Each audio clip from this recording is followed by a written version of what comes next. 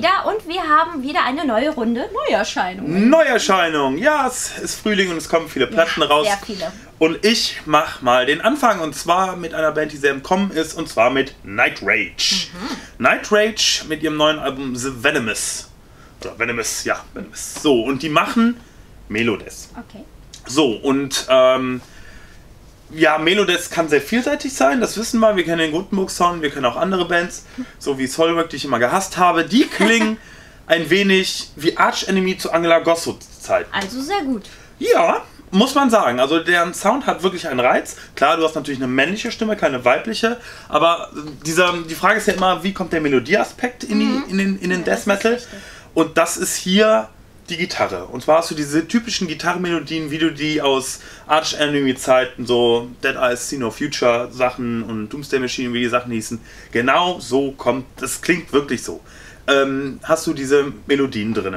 Und ähm, ja, was man leider dann auf der Gegenseite sagen muss, ist, die Stimme ist entsprechend eintönig. Also die Gitarre Ja. macht diesen Sound, ganz klar. Aber die Stimme kann wirklich nur dieses, dieses eine Geschaute. Und ja, also es fängt halt direkt ganz relativ stark an mit dem Titeltrack. Nur danach war es das. Der Titeltrack ist relativ melodiös. Danach hauen die ein paar Songs richtig so Okay. mit, mit Knüppel des raus. Und dann Ja. hast du immer mal diese, diese, diese Melodieparts zwischen. Aber Schade. so, ja, ein bisschen schade. Und du hast halt echt eine monotone Stimme, die sich dann sehr im, im so Gebälle ähm, wiederfindet. Ja. So, und ja, je länger das Album geht, desto belangloser wird es ein bisschen. Ich meine, es hat irgendwie etwa fast 50 Minuten Spielzeit. Dies, und du hast den Eindruck, die Songs sollen so pflichtmäßig um 4 Minuten gehen. Die gehen alle so zwischen 3,50 und 5 Minuten. Und das muss ja nicht sein. Also es ist, ja, die haben wirklich viel Potenzial, die sind ja auch sehr im Kommen und werden ja auch, glaube ich, ein bisschen gehypt. Und wenn man den Sound hat, weiß man warum. Weil die, glaube ich, auch diesen, ja, diesen vakanten Platz von Arch Enemy, die gibt es zwar noch, aber nicht mehr in dieser Besetzung, dass sie den so ein bisschen übernehmen. Aber ähm, da muss noch ein bisschen mehr kommen, Ja. damit sie wirklich auch diesen Status erreichen. Also richtig, also der Titeltrack, der war wirklich cool und es fängt richtig stark an und danach wird es erstmal ein bisschen schwächer. Ich habe noch ein paar Songs aufgeschrieben. Und zwar, ähm, also noch positiv aufgefallen war noch In Abhorrence. So, der war, der war stampfig, irgendwie ganz gut. Und Affliction, da war ganz schön, da die, das klang wie ein Gastsänger bei, wo noch eine andere Stimmnuance reinkam. So, weil ansonsten ist die Stimme wirklich Monoton. monoton, ja.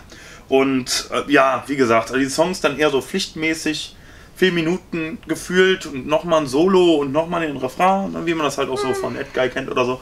Und, Nochmal ähm, ein Seitenhieb zwischendurch, Seitenhieb. um euch aufzurücken. und ähm, ja, aber was man jetzt so summa summarum sagen muss, ist, der Sound ist spaßig.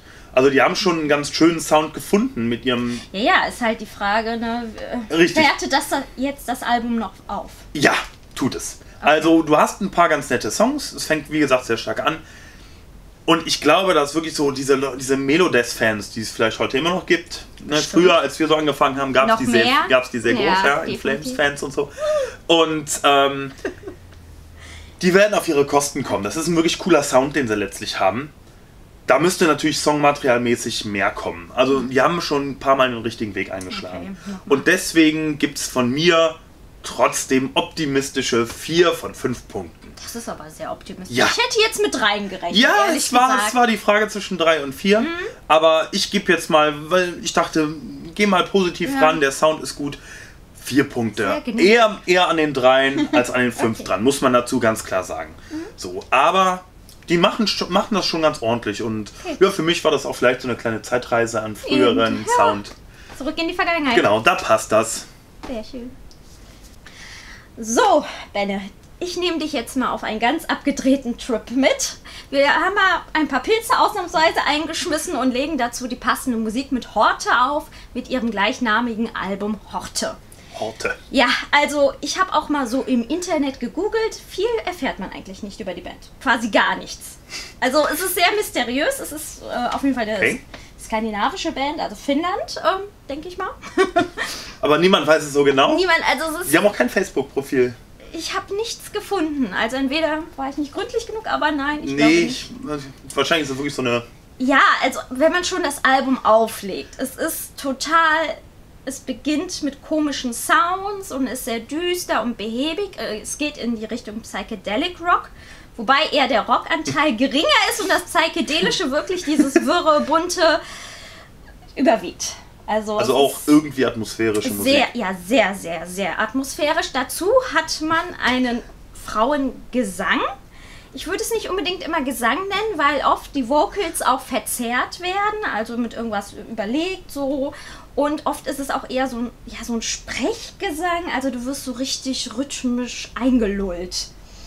Und was auch noch sehr außergewöhnlich ist, ist, dass der Bass, das müsste dir aber gefallen, sehr knarzt und wummert. Der steht total im Vordergrund. Schön. Ja, also so die Gitarren, die brechen selten aus. Wenn sie da mal ausbrechen, so ein bisschen auch Melodie und ein bisschen Fahrt aufnehmen, dann denkst du so geil. Wenn es aber dann wieder so total abgedreht wird, denkst du so, okay. Ja, ähm, ne? Also vor allem auch der Gesang der, der Frau ist nicht schön. Also es ist kein guter Gesang. Es ist halt irgendwie. Gejaule? Ja, irgendwie total komisch. Natürlich liegt es dann auch an der Sprache. Man versteht ja die Texte nicht und dann Ja, bist du gut. wirklich wie so, ja, in einer anderen Sphäre da oben und, und bewegst dich irgendwie so dazu. Also, so Also man muss eindeutig was einwerfen, um die Musik irgendwie zu fassen. ja, sie ist auf jeden Fall sehr speziell. Also es ist nichts jetzt, äh, also man kann nicht sagen, ja, ihr hört gerne Rock.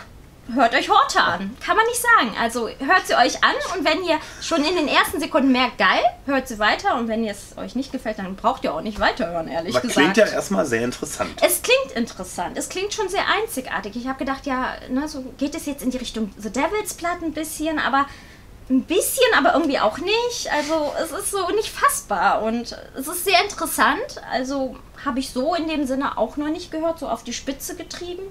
Ne? Abgedreht. Was würdest du denn geben für sowas abgedrehtes, auch wenn es schwerfällt? Ja, schwerfällt. Ähm, ich würde drei Punkte geben. Das ist ja der, der finde, diplomatische Weg, wenn es Ja. etwas Spezielles ist. Genau. Für Horte drei Punkte. So, ich hätte noch eine kleine Perle am Schluss. Und zwar das neue Album von Nvidia, As the Sun Sleeps. Und ich muss direkt sagen, das müsste eigentlich deins sein. Also der Sound, den würde ich, wenn man jetzt mal so Bands addiert, würde ich sagen, Disturbed meets Pain meets Bullet for my Valentine. Okay. Also, ähm, du hast wirklich so einen leicht Industrial, New Metal, aber auch so einen Core-Sound. Und das Schöne an der Band ist, die wissen irgendwie, wie es geht. Die schreiben eingängigere Songs, vor allem, man kann die soundmäßig sehr gut mit dem, was ich am Anfang ähm, rezensiert, mit ähm, Night Rage, kann man die ganz gut vergleichen. Aber ähm, die wissen im Gegensatz zu Night Rage, wie es geht. Deren Songs gehen etwas über drei Minuten. Das Album ist eiskalte zehn Minuten kürzer. Ich glaube, die haben aber dieselben Menge an Songs. So, die sind eingängiger und äh, du hast direkt viel bessere Songs. Also der Opener Now or Never. Coole Nummer. Rotten, so ein Mittempo-Stampfer. Richtig gut, aber nicht ganz so dieses schnelle Moderne. Dann hast du diesen, äh, hast du einen Song bei Till Death heißt der. Die, das Riffing, also nicht der Refrain, sondern die, die, ähm, die Textzeilen des normal. Ach Gott. Also, So. die normalen Textzeilen auf jeden Fall werden so Rammsteinartig unterlegt. Vom Geil. Riffing ist es dieses was man von Rammstein kennt, dieses einfache Riffing.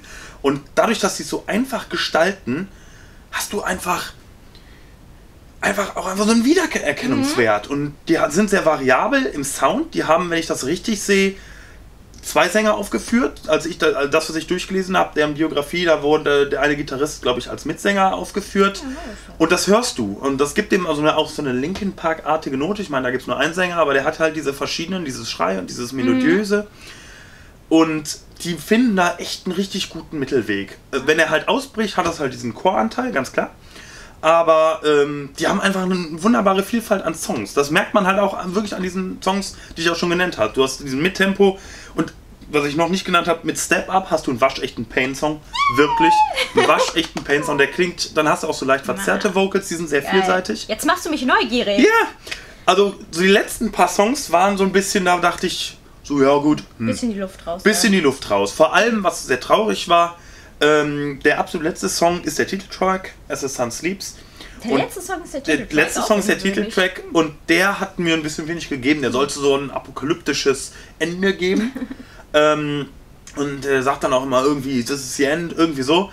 Und das verläuft sich dann am Ende so ein bisschen. Das ist auch der längste Song auf dem Album, aber das fand ich, das kam bei mir jetzt nicht rüber. Der Sound an sich hat schon seins getan, da brauchst du jetzt nicht noch so so versuchen am Schluss so, so, eine, so eine was apokalyptisch Episches. epische Note draufzusetzen. Das war einfach ein bisschen. So aller The Doors, ne? Ja, ja, nur dass die Doors das konnten. Ja, klar. So, und so ähm, die haben das auch nochmal versucht, kam bei mir jetzt nicht ganz rüber. Aber deren Stilmix ist wirklich schön. Es ist halt moderner Sound. Mhm. Ja. Es ist halt moderner Metal. Da sind auch ein paar, wenn ich das richtig sehe, von verschiedenen Bands ähm, bekannte Namen bei gewesen. Irgendwas von Five Finger Death Punch habe ich zum Beispiel gelesen, die sind ja sehr im Kommen.